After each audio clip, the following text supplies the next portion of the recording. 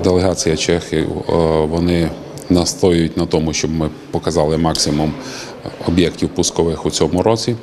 Це і для нас добре, тому що на, е, на кінець садочки, які чекають своїх е, вихованців, будуть реалізовані, будуть запущені.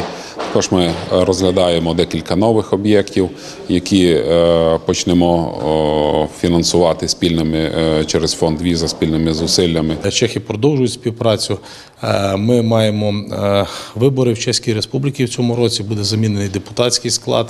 І дуже важливо виконання проєктів у 2016 році презентація новому депутатському складу для продовження співпраці, тому що ми маємо чітко розуміти, що Чехи в даному випадку є донорами. Вони надають нам кошти. Ми даємо лише 50% співфінансування.